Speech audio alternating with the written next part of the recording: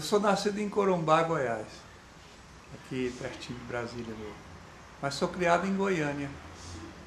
E meu nome é João Pedro da Silva. É, aí tem a, a, a, o, o, o apelido, né, que é Mestre Dico. Então eu sou, eu sou de uma origem de violeiro. Meu pai, meu avô, minha avó, todos são catireiros. Meu pai era fabricante de rabeca, que é a cópia do violino, né? E violas, caipira, ele era catireiro. E aí trouxe, então tem a influência dessa, da, da, da, do meu pai, meus parentes mais passados. E aí vem ele, que é meu filho, também tem a origem da viola, de fabricação. A fabricação veio do meu pai também, que eu aprendi com ele.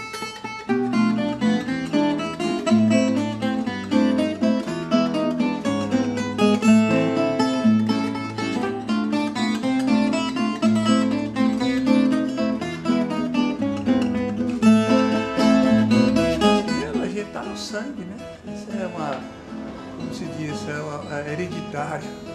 Vem de, de avô, passando várias gerações para trás. Na verdade, verdadeira, essa geração tem mais de 100 anos. Que começou com meus bisavôs, meus avôs, são tudo goianos, mineiros.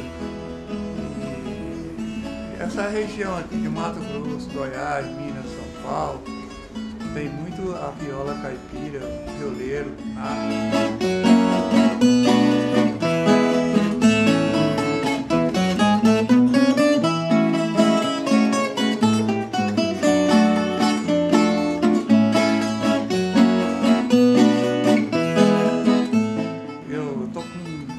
completar 75 anos agora em junho.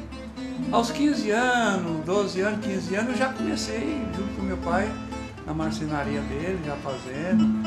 Aliás, a primeira viola que eu toquei no rádio, a gente tinha muito programa de rádio ao vivo lá em Goiânia, na Rádio Clube de Goiânia, eu tocava a viola e a primeira viola que eu toquei, eu não podia comprar uma viola, eu tinha que fazer. E fiz, fui pro rádio, toquei, foi um sucesso danado na época, a viola, o violeiro que fabrica a sua própria viola e tal, e assim por diante. Meu pai serrava, guardava no paiol para secar rápido, né? Sacava, dois, três anos estava pronta para instrumento, pegando quatro anos. E ele pegava na mata mesmo? Na mata.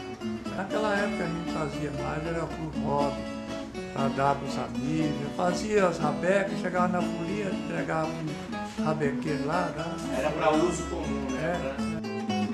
É.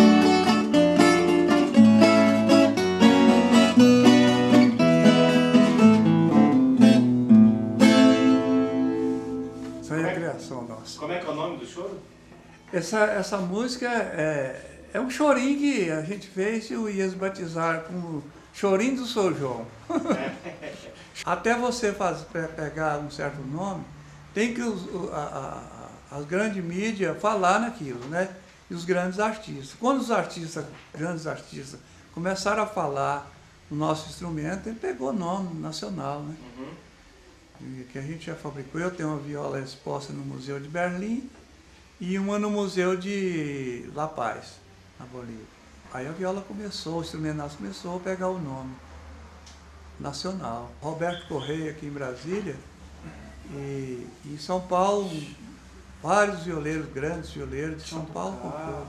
Tião do Carro, Carreirinho, Carreirinho, o Amir Sater. Amir Sater. É, vários. Né? Silvio Brito encomendava instrumento, César Augusto, são grandes nomes em São Paulo. Né? E muitos outros. Aí começou, Leandro, Pena Leonardo. Branca. Pena Branca, Pena? Branca. Pena Branca, Zé Chavantinho. Mulato. Zé Mulato Cassiano, É, Marco Mesquita. É, grande violeiro. Cacá já teve um. A gente trabalha mais é por encomenda. Né? Porque não, se eu quisesse, às vezes, transformar em uma fábrica, eu teria uma grande fábrica de viola, violão, mas eu nunca quis, quis fazer. Coisinhas aos É, poucos. né? luthier manualmente, mesmo, né? né? A gente começa a tirar a madeira das laterais, o fundo, né, que são fininhas, 2 milímetros, aí leva para um, uma máquina que a gente tem de, de modelar a quente, né? Leva na água, deixa de bolha, aí vai modelando, colocando na forma, aí coloca as Essas peças são as laterais. as né? laterais. Essa parte que É. envolve a lateral do instrumento. Aí tem o chamado de reengrosso, que é re- reengrossar ela para criar resistência. Coloca as travessas, fundo, aí vem a frente, etc. Aqui tem as almas dentro, que é da, da base, base sonora, né? Colocação do braço, trasteira, tróculo, e assim por diante, cavalete, aí vem o verniz. Há uns 60 dias para fazer uma viola, é, com muita chuva não presta, né? Porque o instrumento ele não pode ter, ele tem que ter o, a- Clima o clima normal, natural, né? Na verdade, na, na seca, na, na secura é, é bom. Bem, bem melhor para fazer. Bem melhor. É.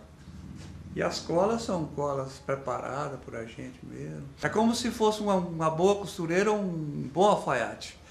Então a gente faz já, já como diz aquele ditado,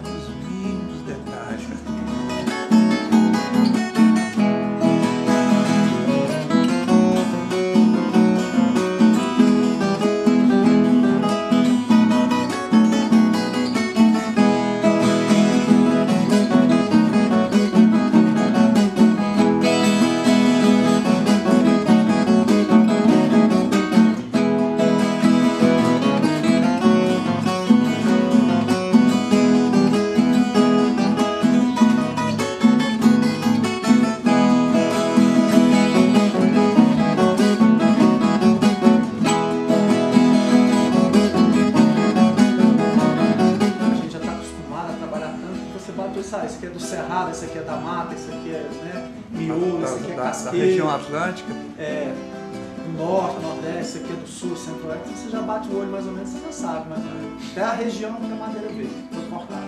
Em média a gente compra com 20 anos, 10 anos, 20 anos. né? Até com a gente ela já fica com que você compra uma madeira já cortada de 20 anos. Ainda fica com a gente quem procura guardar e usando as outras mais antigas, né? Pra já ir ficando mais tempo. É. Mais velho, melhor. É, madeira é igual fumo e arroz, né? Tem que ser mais velho. melhor. Cachaça. Cachaça quanto mais velho é melhor. Não, não. Isso é, é lenda, né? É folclore. Isso não. Não existe isso não. Tem até uma historinha que a afinação Rio Abaixo foi criada o seguinte, que ia um moço muito bonito, numa canoa, tocando uma viola Rio Abaixo. E aquela afinação pegou o nome por Rio Abaixo. Não, mas isso é lenda, as afinações já vêm milenar, é coisa que pega uma, uma caninana, É, os dedos ficar. Leve. pegar ela e segurar e tal, para aprender a tocar e tal, mas não. A gente, se não, se não executar, não aprende a tocar.